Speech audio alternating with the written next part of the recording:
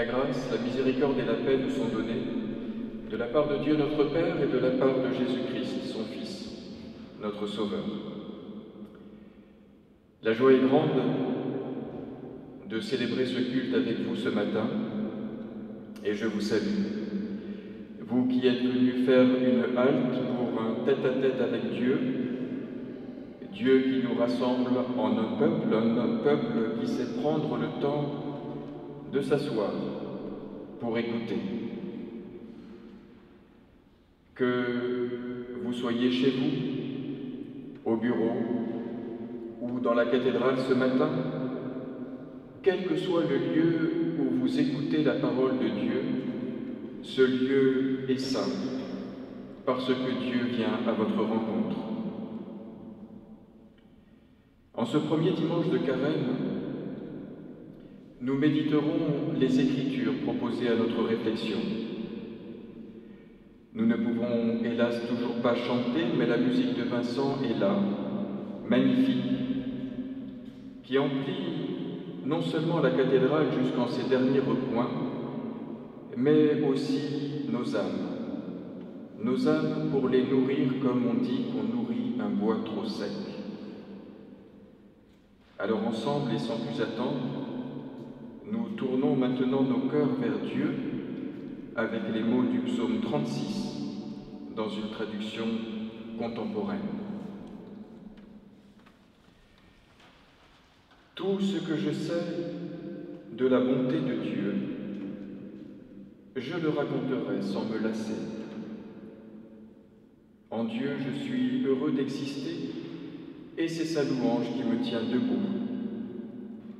Vous les doux, vous les humbles de cœur, exultez de joie. Serrons-nous tous ensemble et unissons nos voix pour chanter son nom. Je cherche Dieu, mais lui aussi, il me cherche. Il exorcise en moi toute peur. Celui qui regarde vers lui se métamorphosera, et l'éblouissement effacera toute peine de son visage. Un humilié crie, Dieu l'écoute. De toutes ses angoisses, il le délivre. Dieu a des anges ici-bas qui exercent un ministère de veille. Faites l'expérience. Goûtez combien le Seigneur est bon. Heureux l'homme, heureuse la femme qui fait de lui son refuge. Qui cherche le Seigneur ne manque d'aucun bien. Et nous écoutons maintenant la musique, la musique composée sur ce psaume par Claude Boudimel au XVIe siècle.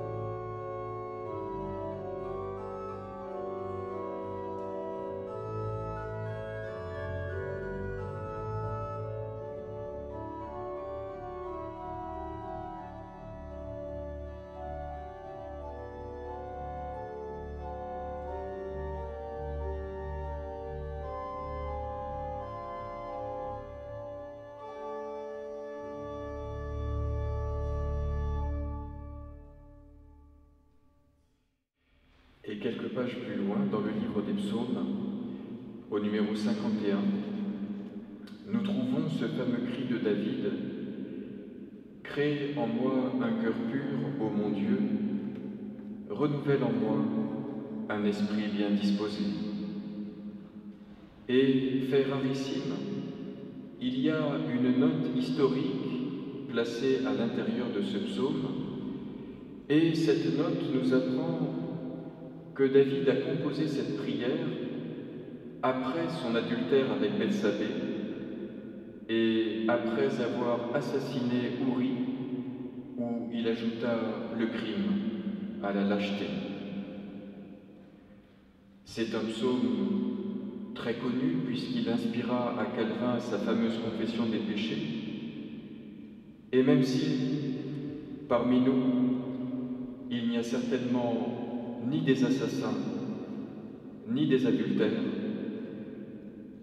les mots de David restent paradigmatiques des sentiments qui viennent parfois nous hanter et hanter nos consciences quand nous avons le sentiment d'avoir fauté et de ne pas avoir été à la hauteur.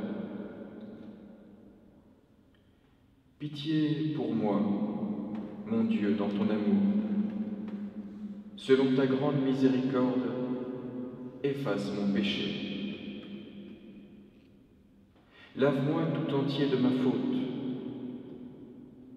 Purifie-moi de mon offense. Purifie-moi avec l'hysope et je serai pur.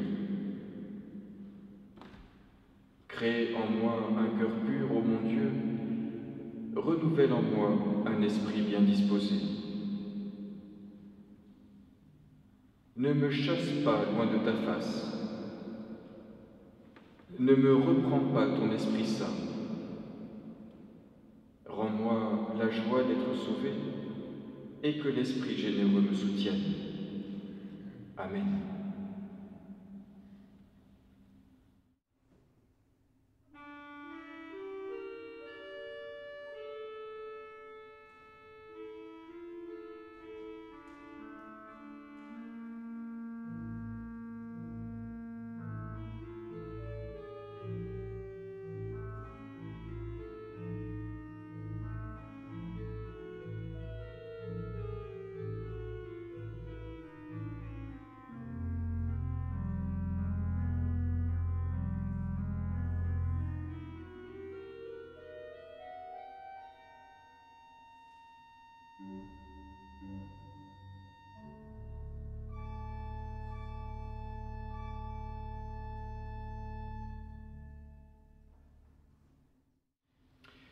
David fut très durement frappé pour ses crimes, mais il échappa à la mort qu'il méritait parce que il avait su reconnaître sa faute. Et au soir de sa vie, il écrira son dernier psaume, un psaume qui dit la vie toujours plus forte que la mort et la grâce plus forte que la condamnation c'est le psaume 148, l'un des derniers de la Bible. Et je vous invite à vous lever parce que ce sont les paroles de grâce. Je t'exalterai, ô mon Dieu, mon roi, et je te bénirai jusque dans l'éternité. L'Éternel est grand et très digne de louange. Sa grandeur est insondable. Que chaque génération dise à celle qui la suit combien tes œuvres sont belles, qu'elle publie tes exploits, qu'elle évoque ta grande bonté et qu'elle chante ta justice. L'Éternel est plein de grâce et de compassion, lent à la colère et riche en amour.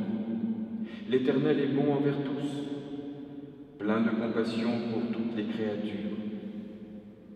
Que toutes tes œuvres te louent éternel, et qu'il te bénisse ceux qui te sont attachés. Amen. Et je vous prie de reprendre place pendant que nous écoutons encore un cantique que vous allez reconnaître, c'est le 254. Ô mon peuple, prends courage et console enfin ton cœur. J'ai brisé ton esclavage, moi, ton Dieu libérateur.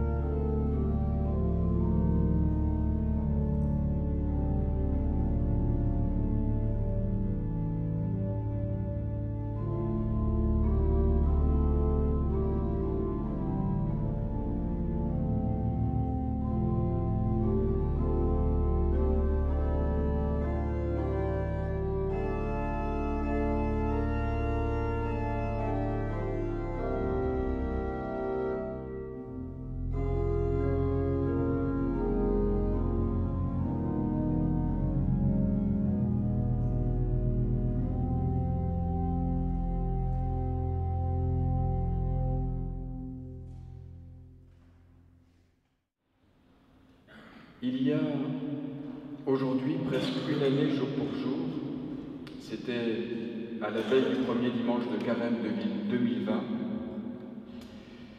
l'Office fédéral de la santé publique prenait la décision de limiter les rassemblements à 1000 personnes, marquant ainsi le début d'un processus qui mena à la fermeture de tous les lieux publics, dont les églises bien sûr, 15 jours plus tard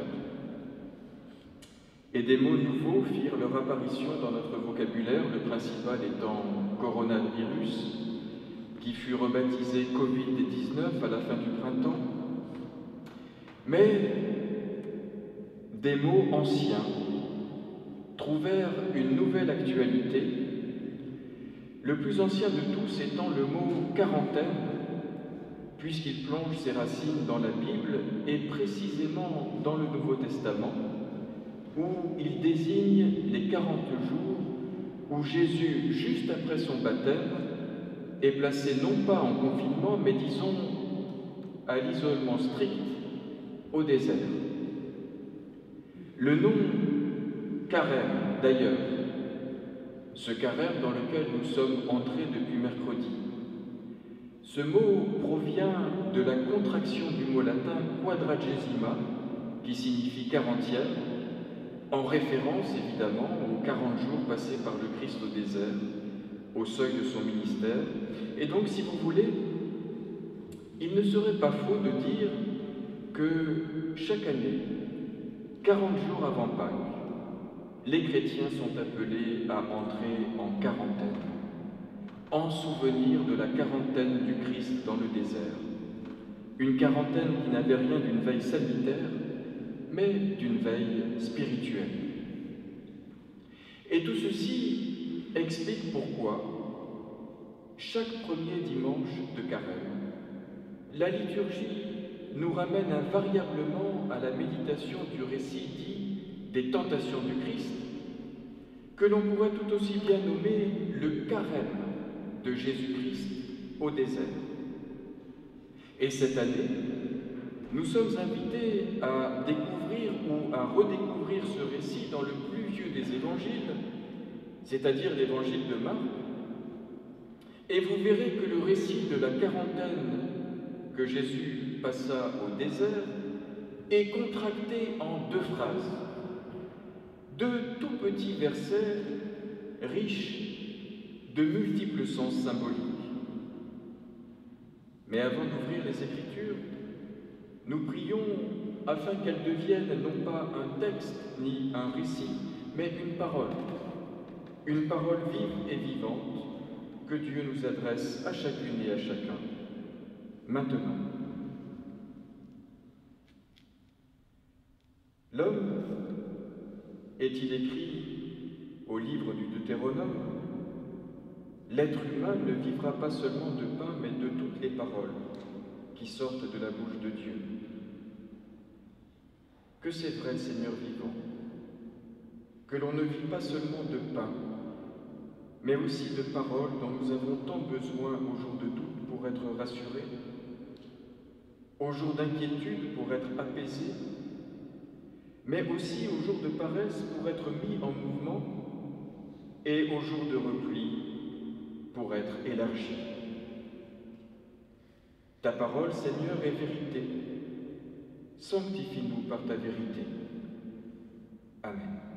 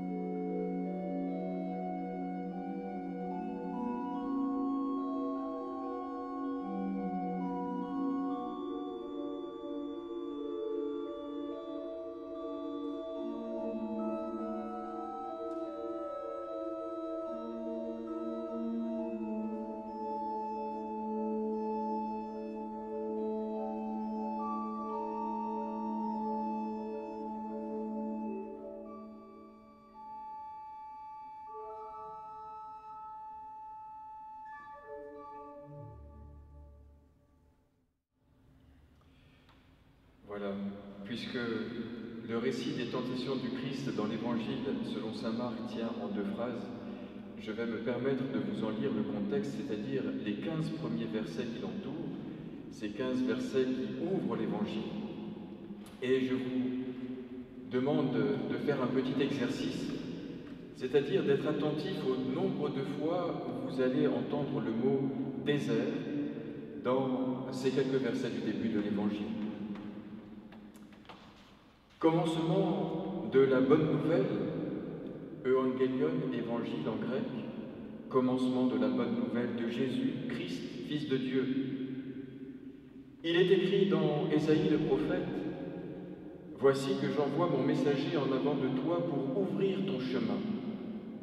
Voix de celui qui crie dans le désert, Préparez le chemin du Seigneur et rendez droit ses sentiers. Alors Jean, celui qui baptisait, parut dans le désert. Il proclamait un baptême de conversion pour le pardon des péchés. Toute la Judée, tous les habitants de Jérusalem se rendaient auprès de lui, et ils étaient baptisés par lui dans le Jourdain, c'est-à-dire plongés dans l'eau, en reconnaissant publiquement leurs péchés. Jean était vêtu de poils de chameau, avec une ceinture de cuir autour des reins. Il se nourrissait de sauterelles et de miel sauvage. Et il proclamait, Voici, voici venir derrière moi celui qui est plus fort que moi. Je ne suis pas digne de m'abaisser pour défaire ne serait-ce que la courroie de ses sandales. Moi je vous ai baptisé d'eau, mais lui vous plongera dans l'Esprit Saint. Et en ces jours-là, Jésus vint de Nazareth, l'île de Galilée, et il fut baptisé par Jean dans le Jourdain. Et aussitôt, remontant de l'eau, il vit les cieux se déchirer et l'Esprit descendre sur lui comme une colombe. Il y eut une voix venant des cieux, Tu es mon Fils, le bien-aimé, celui en qui je trouve ma joie. Aussitôt l'Esprit pousse Jésus au désert, et dans le désert il resta quarante jours, tenté par Satan. Il vivait parmi les bêtes sauvages, et les anges le servaient. Et après que Jean eut été livré, Jésus regagna la Galilée proclamant la bonne nouvelle du royaume de Dieu et disant que le temps est accompli, que le royaume de Dieu est arrivé et qu'il faut changer et croire cette bonne nouvelle.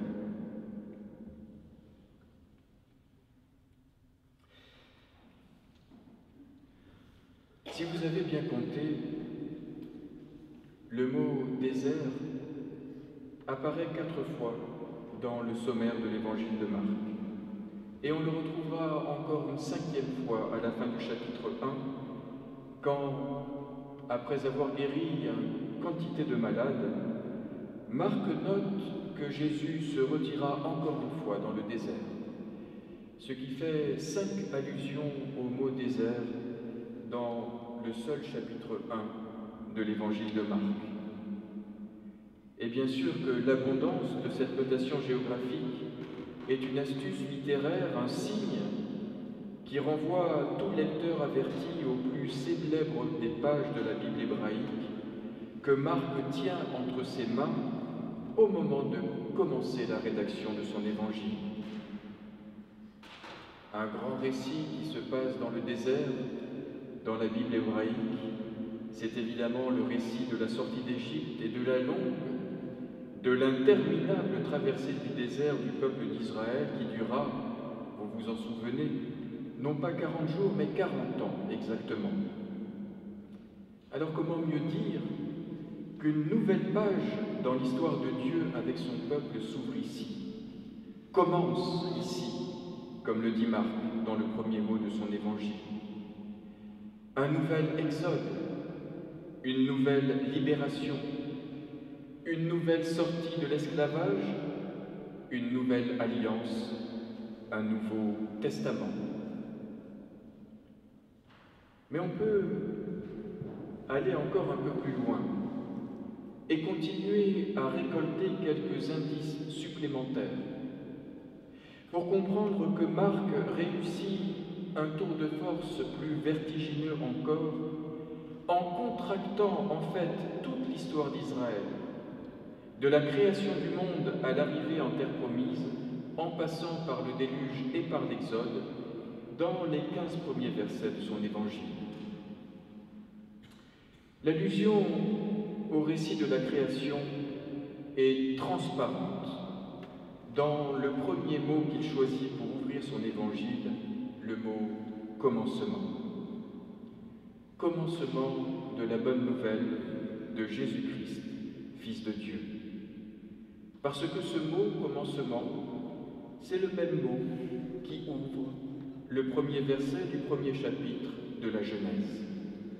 Au commencement, quand Dieu créa le ciel et la terre, la terre était déserte et vide.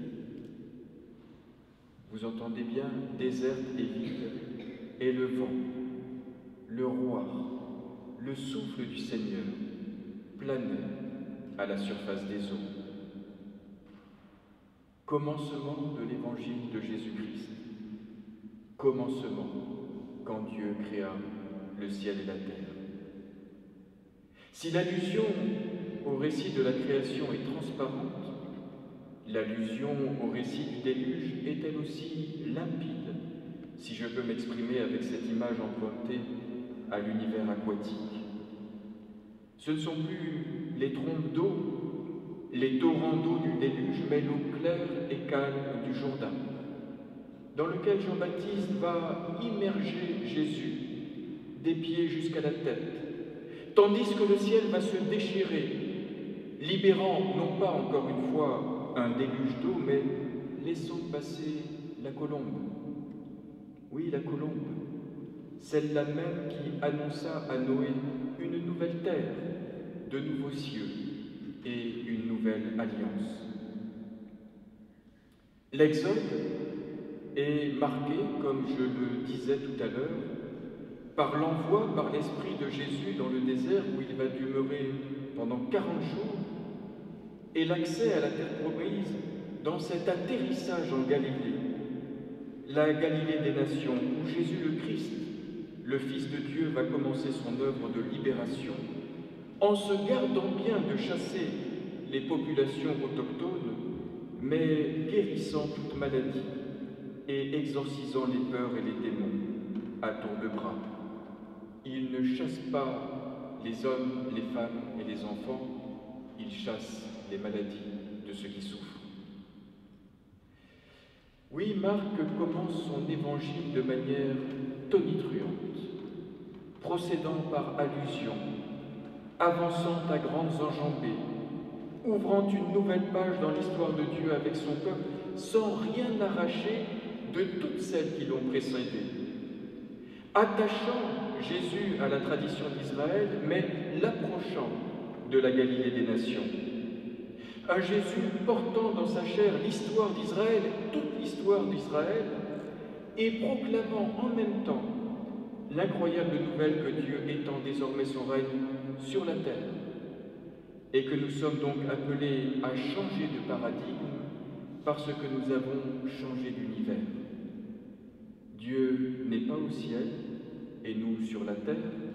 Son règne est désormais ici, au milieu de nous, avec nous. Et cet homme dont on nous raconte l'histoire, Jésus le Christ de Nazareth, en est le signe et la preuve vivante. L'histoire peut commencer.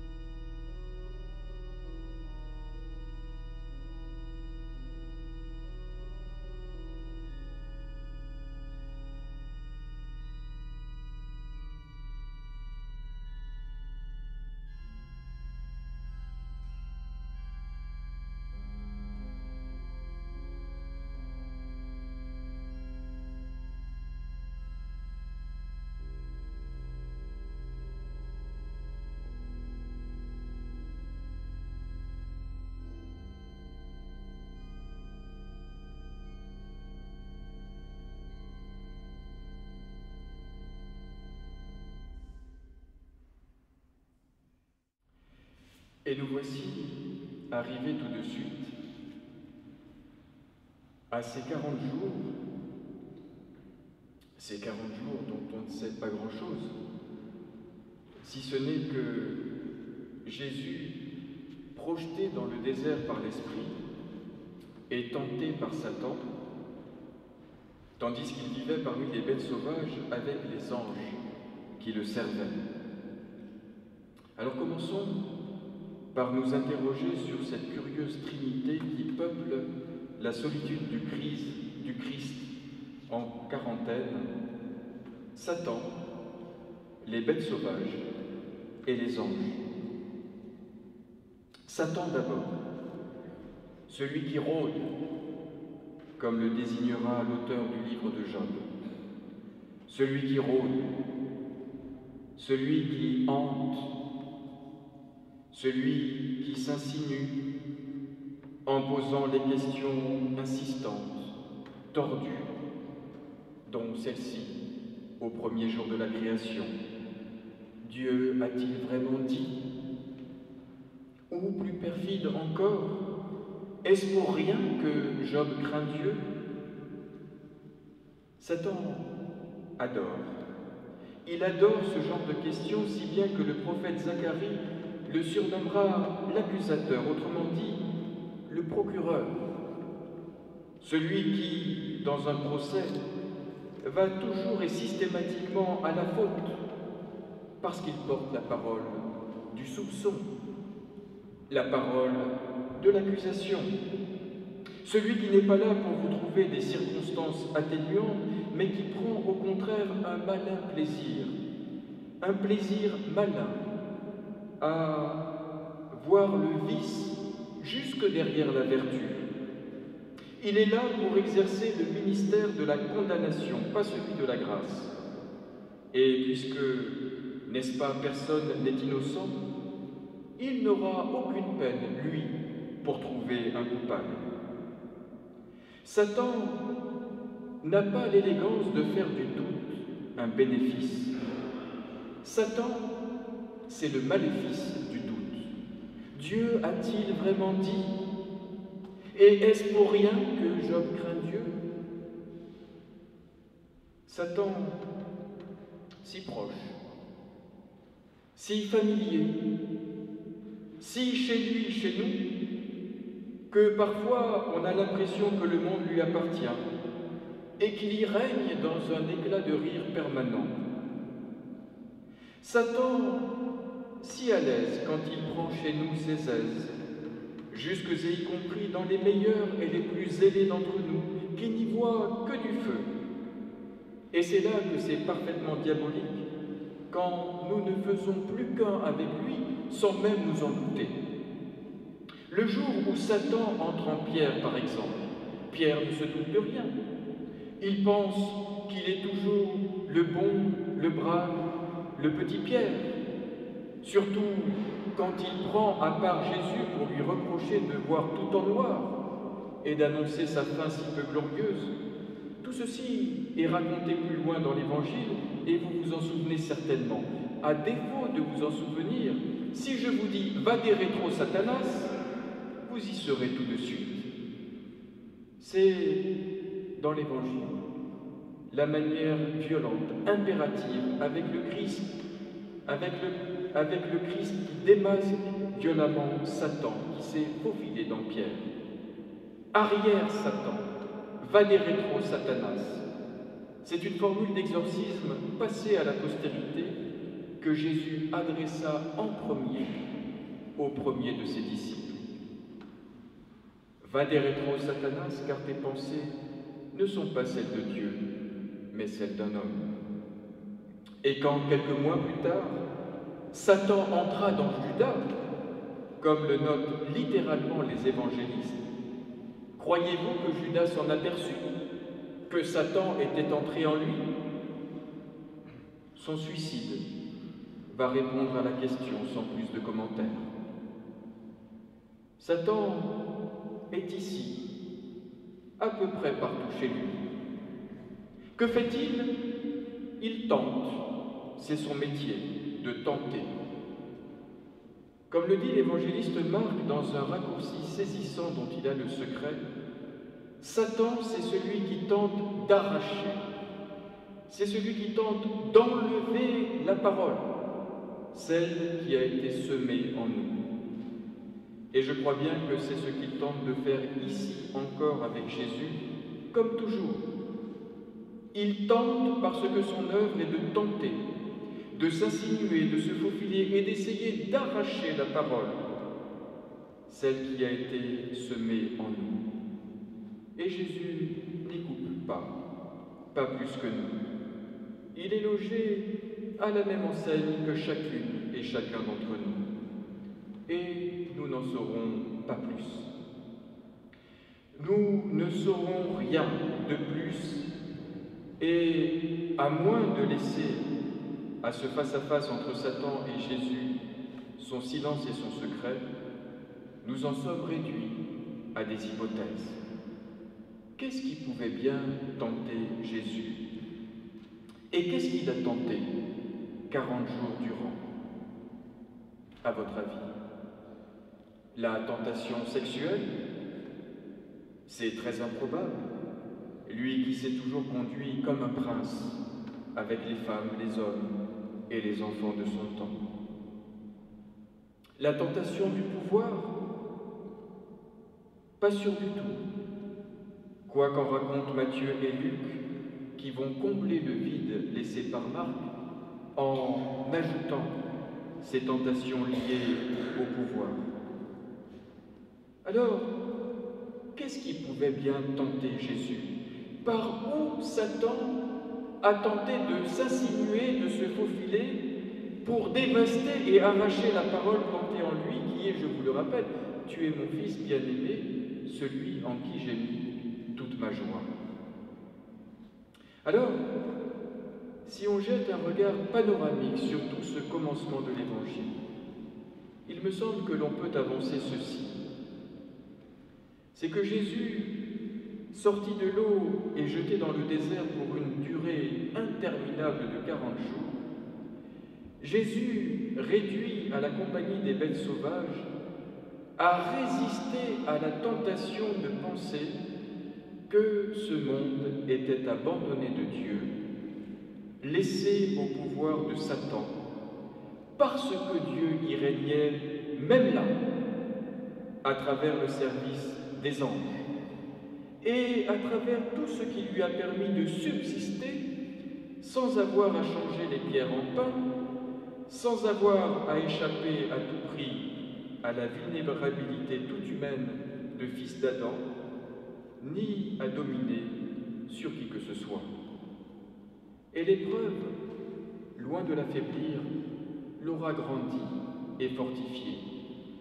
Et il en sortira, il sortira de son désert, proclamant que son expérience du désert lui a appris. Le temps est accompli, le royaume des dieux est arrivé il faut changer, ce qui ne veut pas dire se repentir, mais il faut changer de lunettes, il faut changer de paradigme, parce que nous entrons dans un monde où Dieu non seulement n'abandonne pas ses enfants ni son peuple dans le désert, mais règne ici et maintenant et jusque dans le désert. Jésus ne nous demande pas ce que l'on en pense, il nous dit croyez, croyez cette bonne nouvelle.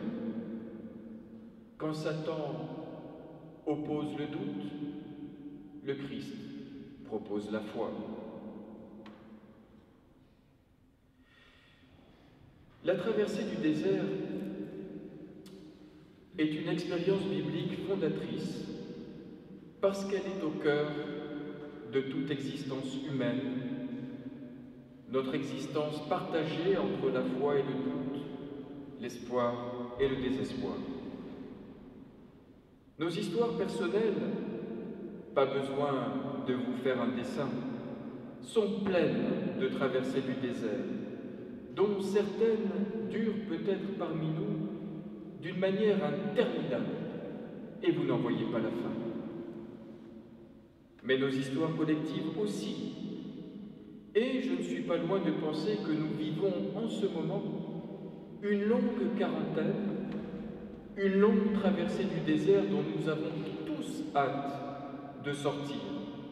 Nous vivons en quelque sorte, nous aussi, toute proportion gardée, en compagnie de bêtes sauvages qui, elles, nous menacent.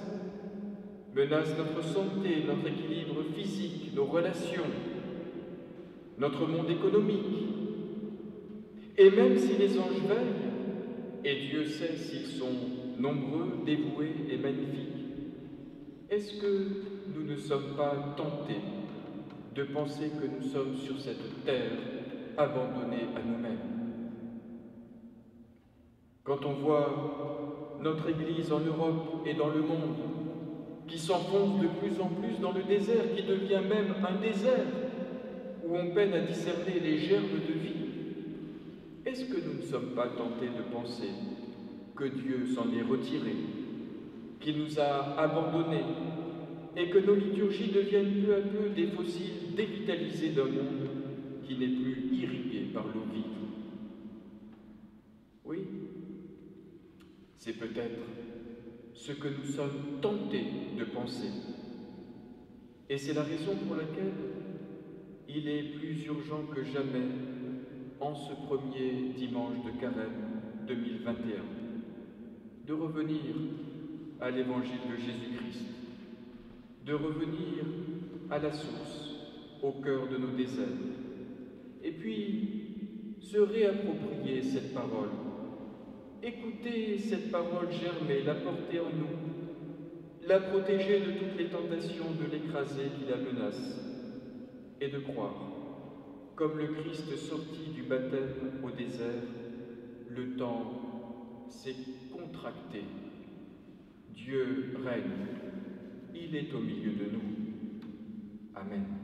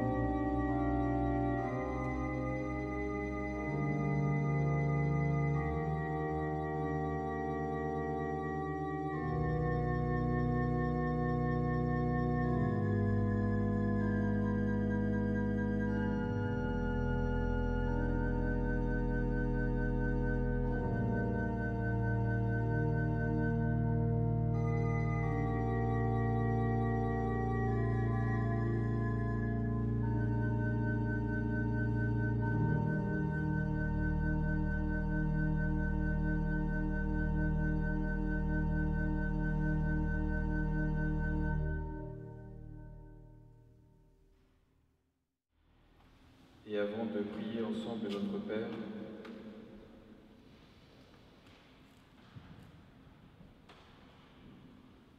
ces quelques mots d'André Dumas.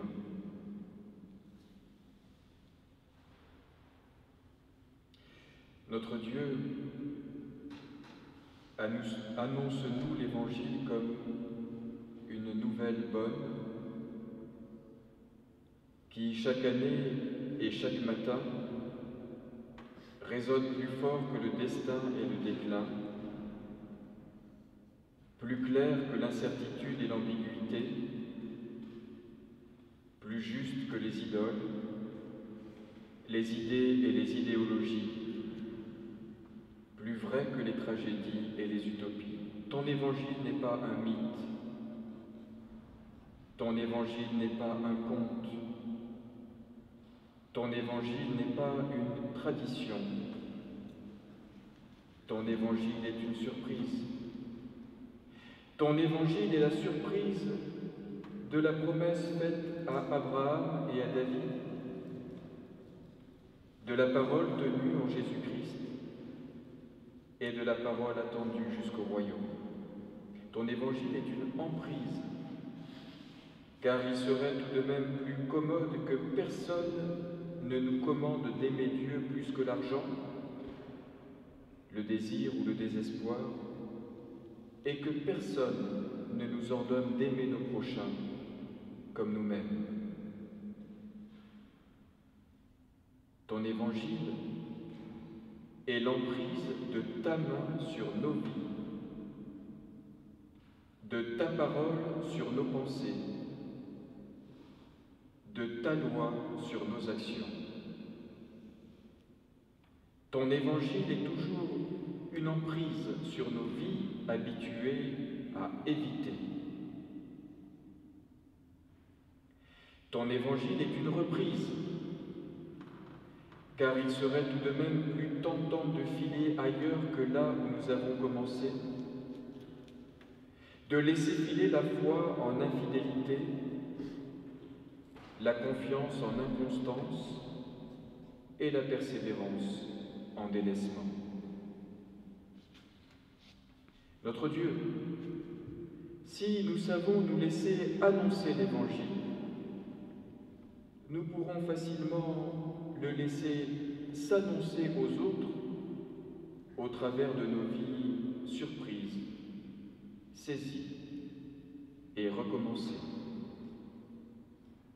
Et je vous invite à vous lever pour dire ensemble notre Père avec une pensée spéciale pour le Ne nous laisse pas entrer en tentation que le Christ nous prie de dire pour nous éviter toute épreuve.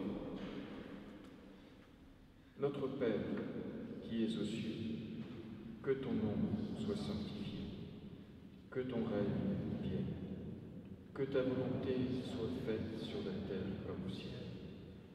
Donne-nous aujourd'hui notre pain de ce jour. Pardonne-nous nos offenses, comme nous pardonnons aussi à ceux qui nous ont offensés et ne nous laisse pas entrer en tentation, mais délivre-nous du mal, car c'est à toi qu'appartiennent le règne, la puissance et la gloire pour les siècles des siècles. Amen. Et vous pouvez vous asseoir.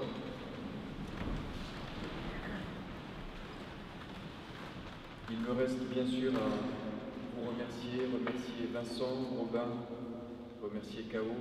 Qui, filme de manière à ce que vous puissiez euh, retrouver ce culte, mais aussi que toutes les personnes qui ne fréquentent pas les églises actuellement peuvent euh, voilà, suivre assez rapidement le culte du dimanche. Et c'est relativement suivi, donc on remercie beaucoup K.O. de faire ce travail pour nous. Nous allons maintenant passer parmi vous pour recevoir votre offrande pendant que Vincent va jouer une partie du chorale BWV 227, Jésus meine Freude, au Jésus ma joie, dont je vous lis juste deux phrases. Derrière ton bouclier, je suis protégé de la fureur de mes ennemis. que le Satan se mette en colère, que le démon enrage, Jésus nous soutiendra à travers les éclairs et le tonnerre contre le péché et l'enfer. Jésus nous soutiendra.